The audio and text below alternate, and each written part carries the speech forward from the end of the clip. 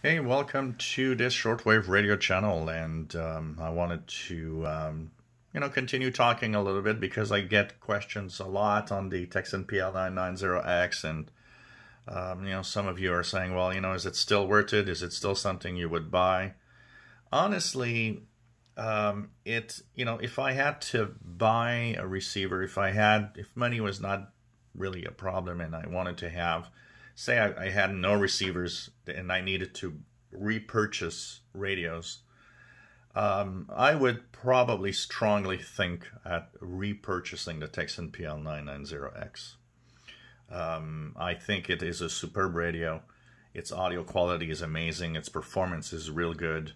And um, I've been amazed. I, I need to make a few videos. I've been amazed at the medium wave, long wave performance on it uh, including the time, you know, that it all started when I, I, I tuned into the Navtex station on 518 kilohertz.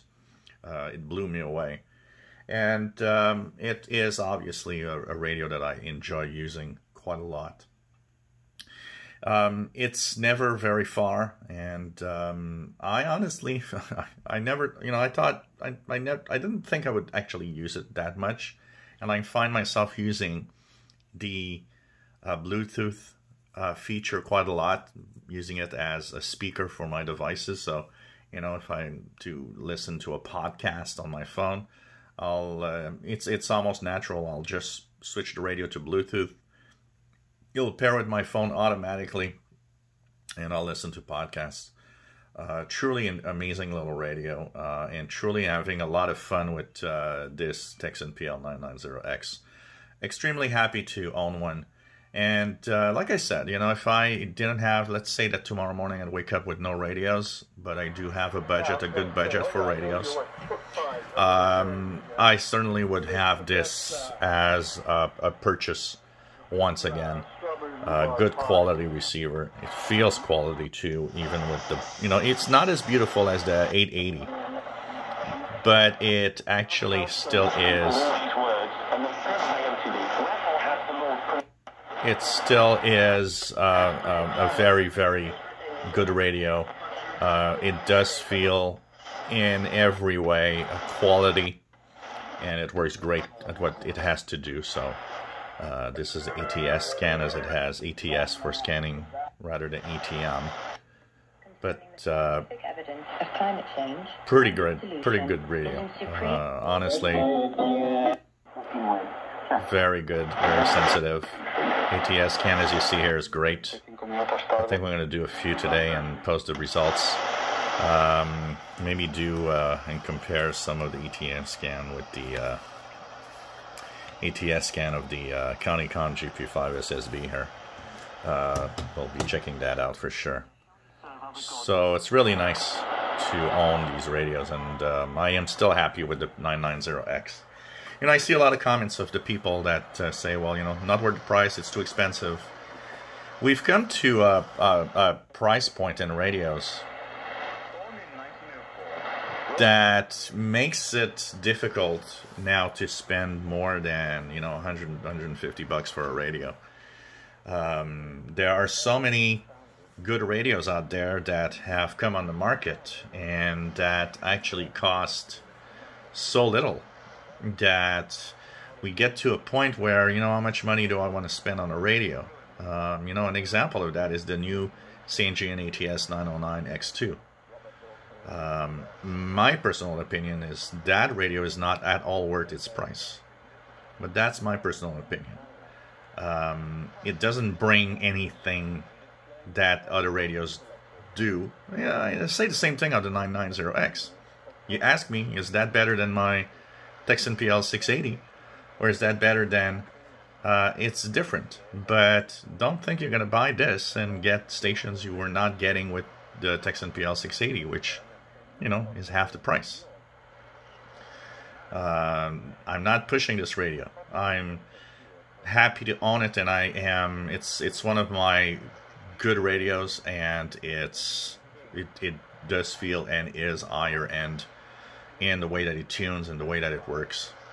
But then again, you could save a few bucks and get the 880, which honestly, for real, a lot of people talk about it. It's true that the 880 is sexier. It is more beautiful as a radio.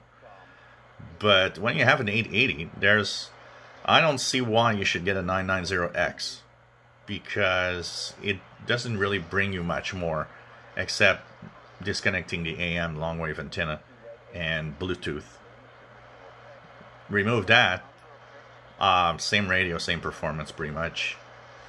Um, it's it's really a question of what do you want and what what do you want. Uh, but it's definitely uh, nice, and I think there are some some places with um, you know where the receivers are worth paying a little more.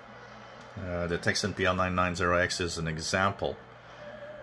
But, you know, you get to a point where the performance of radios is so close that it all comes down to what other features does it offer that are is appealing to me, you know?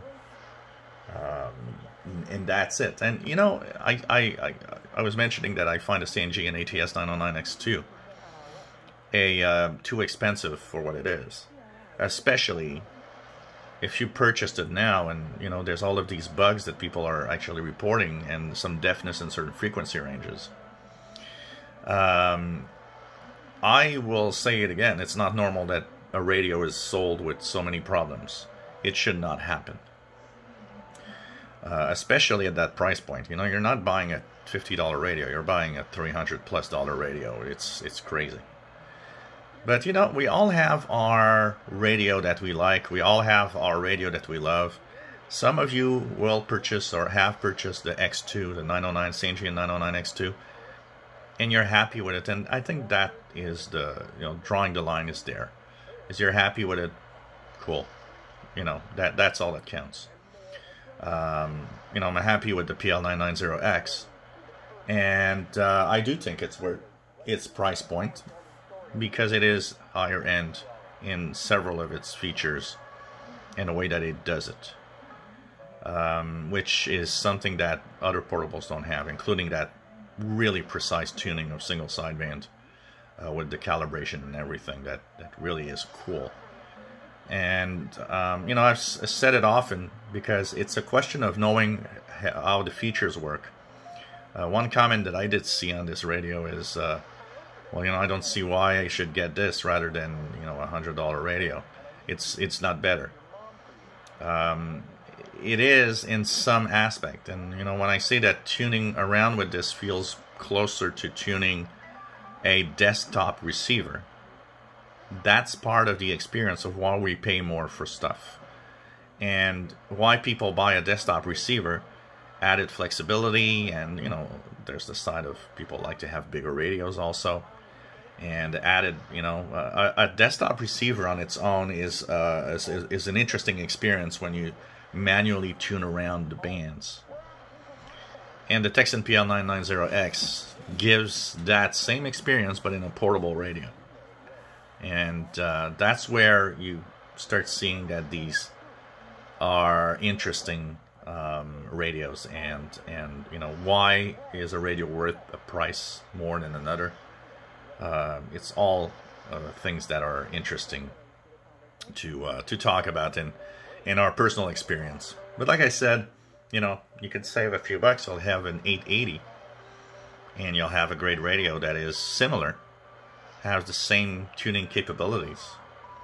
Uh, just misses out on a few things. And once again, if you have a XH Data D808 and you're happy, if you have a Tecsun PL680, you're happy have a C. Crane CC Skywave SSB and you're happy. You know what? There's absolutely no need to buy this because those radios that I just mentioned are pretty much going to get the same signals. It's just missing out on, uh, you know, some of the abilities, but it's not missing out on any signals that you know one will get and the other won't uh, they all will pretty much all have similar sensitivity and capabilities and will do the job.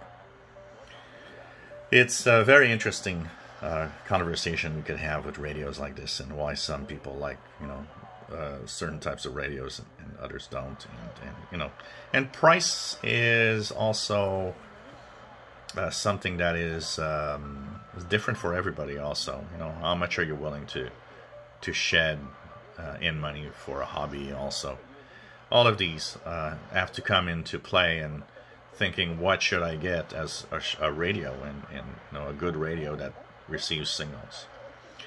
If you enjoy my videos, please subscribe, give us thumbs up. Thank you for watching.